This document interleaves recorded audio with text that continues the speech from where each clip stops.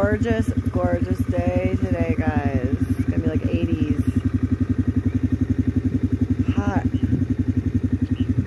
The heat here is a little more intense. Even though it says it's 80, it's actually way more intense as far as the sun goes. But it's nice out.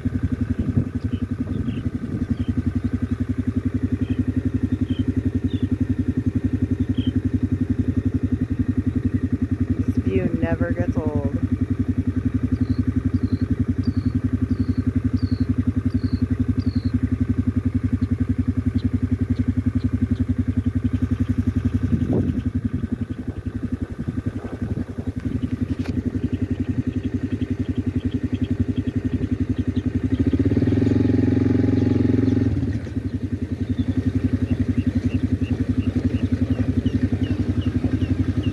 I have not seen a duende yet. No duendes.